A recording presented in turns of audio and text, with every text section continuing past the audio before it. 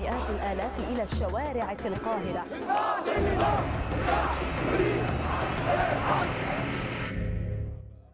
كان أول يوم أشوف مظاهرة كان يوم 25 كنا بنعمل مظاهرات هنا وساعات يعني كنا بنلف حوالين الميدان وعربيات الشرطة بتبقى واقفة هنا. و كان دايما مخابئنا بتبقى في الشارع ده وال بين الس- بين سلم العمارة دي كنا نيجي هنا ونلاقي القنابل مسيلة للدموع بتترمى. وأنا وبابا بنجري القنبلة جت في وسطينا بالظبط.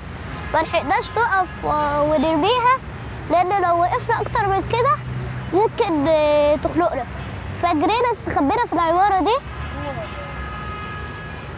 وأنا لقيت نفسي دموع دموع كتير جدا وبلغم كتير جدا. بدأ بابا يعمل لي هتافات على يوم 27 وأكتر هتافة كانت حلوة وكانت الناس بتحبها يعني اللي هو هو مبارك عايز إيه كل الشعب يبص رجليه لا يا مبارك مش هتبوظ بكرة عليك بالجزمه تدوس.